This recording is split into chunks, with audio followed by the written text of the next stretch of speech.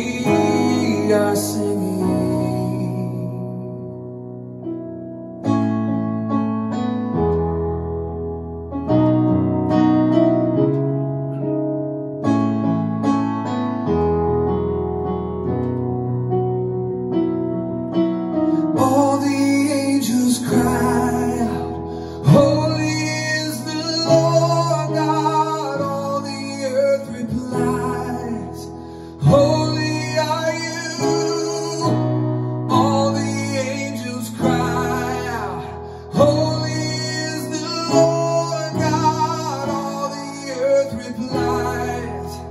Holy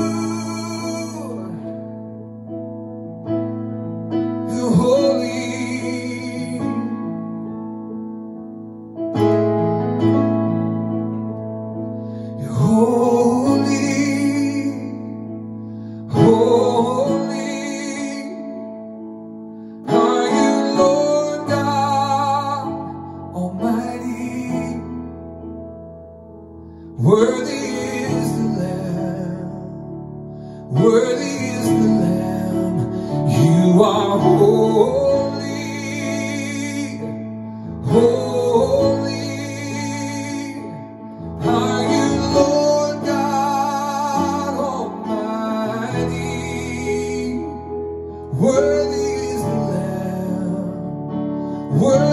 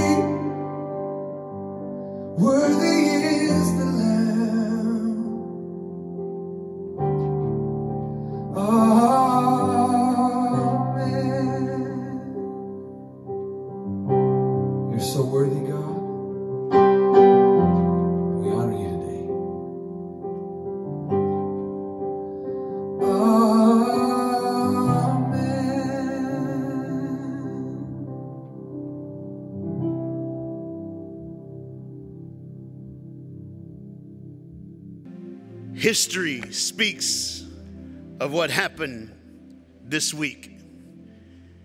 Easter week is a week that we celebrate literally death, but we also celebrate resurrection. In Romans, they loved what they did. You see, they were known for taking care of their criminals and the people who did wrong by crucifixion was what they used and and it was told through their books and, and the way they taught the crucifixion that they used three nails, three nails. And there was crazy as I read the Easter story that to go with these three nails that hung Jesus on the cross, he happened to use three prayers while he was on that cross. Was it a coincidence? I don't know. But today I simply want to look at the three prayers Jesus prayed and coordinate them with the three nails that hung him on that tree. That tree that represents our salvation, that tree that represents our hope, that tree that represents our love, that tree that represents who we are. So let's look at the first nail. In Luke chapter 23, verse 34, the Bible says this Luke 23 34. Father, forgive them, for they do not know what they are doing. That's the first nail. The second nail we find in Mark chapter 15, verse 34. Mark 15, 34. When Jesus prayed, My God, my God, why have you forsaken me? And the last and third nail we find in Luke chapter 23, verse 46. And it says this Father, into your hands I commit my spirit. Let's look at nail number one. In Luke 23 34 when he said, Father, forgive them, for they do not know what they are doing. This verse now is simply called the nail of forgiveness. It's forgiveness. We are never more like God than when we forgive, and we are never more unlike God when we choose not to forgive. That was so good, I need to say it again. We are never more like God when we choose to forgive, and we're never more unlike God when we choose not to forgive. It takes nothing less than divine grace for us to forgive people who we have found most difficult to forgive. In order to forgive, I find myself essentially identifying with this moment in Jesus' life. How difficult could it have been? How hard must it be to forgive the person who's driving the nail in Jesus' innocent soul? Jesus could forgive them. Surely I can forgive. Jesus prayed, Father, forgive them, for they do not know what they are doing. As many times and occasions I find myself looking to that. When we choose to forgive, it's human nature for us to think, then what was done to us must be okay. That is wrong because with Jesus, we have something that you need to know. With Jesus, when we forgive, we know that we found something greater than the offender, greater than the offense. We found Jesus, and He will take care of us in this. With Jesus, we forgive because we found something greater, and His name is Jesus. When I am offended, it is natural instinct. This is how I do it. I make a case against the person. I come up with every defense against them. Then I legally get myself together. Then I seal it and I cast it away. But that's not what Jesus said. And William Ward said it best. He summed it up by saying, We are most like beasts when we kill. We are most like men when we judge, but we are most like God when we forgive. I'll give it to you again. We are most like beasts when we kill. We are most like men when we judge, but we are most like God when we forgive. We must forgive. This is the nail of forgiveness. Jesus' prayer. Look beyond the individual offense and considered the heart and soul and the need of the offender.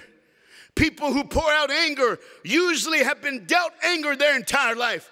A gossiping soul usually have been exposed to a steady diet of gossip. This doesn't make it right, but it does bring us to an essential of forgiveness. A new perspective, one that looks right through the offense and looks at the heart of the offender. I know you may not have been expecting this this morning, but Archibald Hart said it best when he says, Forgiveness is surrendering my right to hurt you for hurting me. Surrendering my right to hurt you for hurting me. Nail number one, you must forgive. Let's go to nail number two. Nail number two is this My God, my God, why have you forsaken me? Mark chapter 15, verse 34. Jesus spent the last three hours on the cross in absolute darkness. When Jesus asked the question of his heavenly Father, My God, my God, why have you forsaken me? We need, we never read him getting an answer. God never spoke to him where we can understand what he said. There's no time like what we're living in right now. Questions come. Oh, we struggle, the hurt and the pain. Why did this happen to the world? What is the reason for this obstacle? Why did I'm laid off? Why did my mom die? Why did my dad leave? Why am I going through this situation? Why the coronavirus? But I'm here to tell you the reason is a mystery. And in the information age that we live in, we want the answer right here and right now. But we got to understand that the God we serve, He's omnipresent. He knows everything. He knows everything about you, and He knows everything about me. He knows when I rise and when I fall. He knows your first chapter and your last chapter. We do not know if Jesus ever received an answer from His Father. It's a haunting thing to live in darkness. But this is crazy. When I wrote this, it was before the coronavirus, and before all this ever happened. And when I wrote this, I was hoping and wondering how could everybody understand what I'm trying to say. But now, weeks later, after writing this sermon, I stand holding this nail, saying that Jesus, He has a road that we cannot see through this coronavirus. And all we have to do is use nail number two. He understands that we have problems, He understands that we yell, He understands that we have, He understands our anger. I watched on the news as someone lost their mom to this virus and they were not able to say goodbye. I don't know who you are, where you're at today. But I'm here to tell you that way back when Jesus hung on that cross, when he prayed this prayer, this dark, dark prayer, he was thinking of you today. And if he can make it then, you will make it today. That's why it's a mystery in the darkest hour on the cross, when Jesus felt alone without God in the world, he had fully and finally found himself identified with us, mankind, in all our humanity lostness, our hopelessness, our helplessness. He found it. But God never rebuked Jesus for express, expressing his anguished soul. Instead, what Jesus did, we can learn from. Listen to me. His struggle was not toward God. Instead, that struggle drove him to God. His struggle wasn't against him, it drove him to him. Don't let the pain of this world drive you away from God. Let it push you toward the King. Let it push you toward your Savior. Let this nail push you that He is the way, the truth, and the life. He is the answer that we need, and He will come through. He will come through. There is no sin in that. Sometimes the challenges on the cross hit us in our personal life, like right here and right now. But Jesus knew the secret of navigating the mystery of life, the hardship of life, and it's one simple word trust. Hey, say it with me trust. He looked beyond his present crisis and his father, he knew who he would trust in. That's why he gave everything to him because he knew that God can work in our blessing and in our struggle for his greater good. And that's nail number two. Last and finally, nail number three. Jesus said in Luke 23, verse 46 Father, into your hands I commit my spirit. Father, into your hands I commit my spirit. The nail is called the nail of surrender. It's the knell of surrender. Jesus' third prayer from the cross reveals the wonderful attitude about death. Instead of fearing death and its darkness, Jesus committed his spirit into the safe keeping arms of his heavenly Father. At the cross, Jesus' spirit faced too terrible for us to even conceive the hurt, the pain, the sorrow that he was going through. But Jesus had a secret he did not face those things alone. Even when he felt alone, he was not. Though his soul felt the sting and separation, he reminded himself who his faith was fastened to. Put your faith in Jesus, no matter what this week brings. Put your hope in him, no matter what tomorrow holds. Let this nail be your nail. See, when Jesus' spirit was overwhelmed, even to the point of death, he chose to commit his spirit into the incredible, loving hands of his Father. Today, I'm simply telling you commit your spirit to God. That's this nail. Three nails. The nail of surrender. Three nails. Three nails. The nail of the mystery of life and the nail of forgiveness. These are the things that we're talking about on this Sunday. These are the things that can help us through anything that we face in this world. I purposely chose not to speak long, but to get right to the point. and the point is this I'm gonna go backwards. The nail of surrender. Are you in today? Is Jesus your Savior today? Are you trying to navigate this dark, dark world on your own? Are you clinging to something that's fleeting instead of that's eternal? Whatever you're clinging to, if it's not Jesus, today's your day for salvation. He died on that cross. Those nails were for you. He did it just for you. And my heart is reaching out through these cameras, through the internet, to speak to the souls who are absolutely overwhelmed. You're overwhelmed. And the reason is you don't have Him as your Savior. So do this today. Come home. Come to Jesus. Let Jesus help you. I'm going to say a simple prayer and we're all saying it together. All the saints that are watching all around the world, say it with me because every saint needs to help every sinner because every sinner needs a future and every saint has a past. Let's do this together, asking Jesus to be Lord, the Savior of our life. God, I pray, I pray that the prayer we pray together would absolutely reach through these cameras, through the airwaves, through whatever it takes to get into their room, and whatever it takes to get into their home, whatever it get to get to their phone. And God, let us realize realize who we need today, and we need you. We need you. Let us surrender to you right now. So we're going to say this prayer, and everyone say this with me. Say, Jesus, come into my life. Forgive me of my sin. I take that third nail, and I ask you, God, to be my Lord, be my Savior. I'm committing my life to you now. Take away the fear, the anxiety. God, I pray that you would be my Savior. Into your hands I commit my spirit.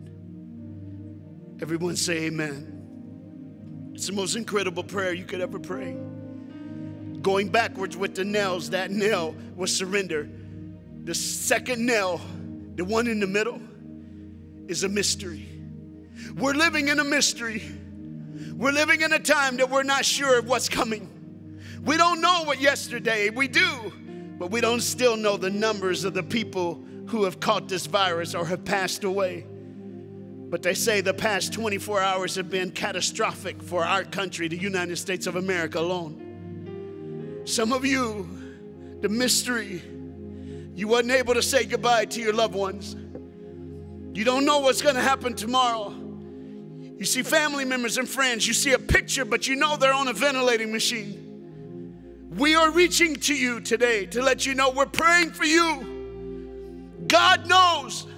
So instead of this thing pushing you from God, let it pull you toward Him. Let it pull you toward Jesus. Because that's what this whole Easter thing is about. We're never going to be alone. Because with God for us, nothing can stand against us. So, in the middle of your darkest hour, in the middle of your hurt, your pain, in the middle of what you're going through today, Remember that second nail. And remember, it's not driving us from God, it's drawing us to Him. And the first nail, you must forgive. My prayer is that somebody picks up a phone and calls their son, that a daughter calls their mom, that a brother calls a sister, and a brother calls a brother, and a sister calls a sister, that you call your grandma. Some of you, they'll probably pass out when you answer the phone. But this life is too short, it's too fleeting. On the news about the man who lost a loved one, he was crying as he looked into the news camera and he said, I just wanted to say I love him. Hey, do not hold off tomorrow what you can do today. Today's the day. Let what Jesus did years ago that celebrates this Easter week, let it happen to you today and let it change you and change your family. What a morning. What a sermon. Not because it's me, but because it's Jesus. So, God, I pray for those who are struggling with the mystery of life that we're going through. God, I pray right now, we will never know what they answered, but you will. God, I pray right now that they will feel the comfort that Jesus felt in that darkest hour, the peace that Jesus felt when he surrendered the hope that Jesus gave when he forgave. And let it be ours today. Stir us this Sunday to do what we have to do to make your word known and to make you famous. In Jesus' name, amen. Amen. I pray for all our first responders. I pray for all our doctors and nurses and policemen and firemen. Jesus, you would give them peace Heal their bodies. Let them not even come close to catching this.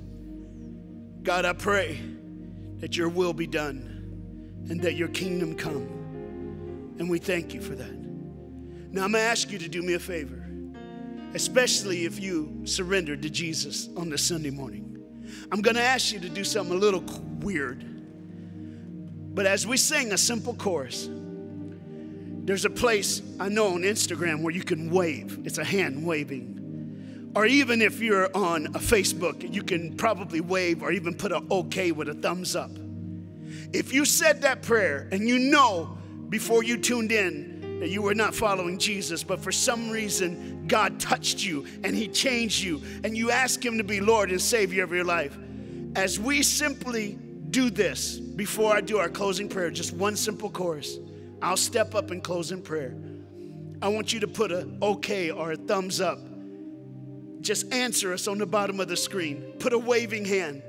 Because the Bible says in Matthew, if you declare me before men, I'll declare you before my Father in heaven. Let's declare Jesus. Just right now, as we sing a simple chorus, just put a wave, put an okay, put a thumbs up, saying, Today I got right with Jesus. Today I gave Jesus my life. Today I came to the throne. Today I said yes. And remember the nails. Do it right now as we sing. Amazing grace, how sweet the sound that saved a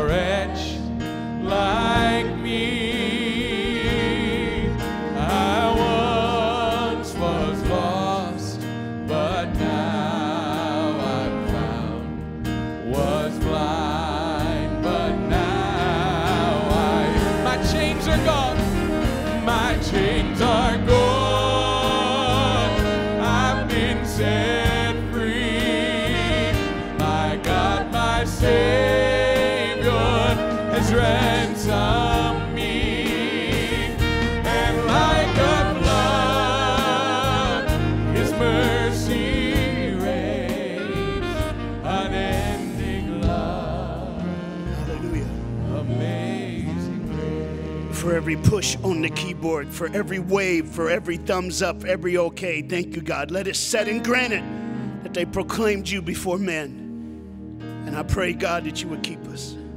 God, I pray, God, that we would do what the government says so that we can know, know that you are God. And God, we forgive. God, no matter what's hold tomorrow holds, the mystery, we got trust in you. And now we've surrendered. So no matter what's going to happen, we got Jesus. And nobody can take that away. May the Lord bless you and keep you.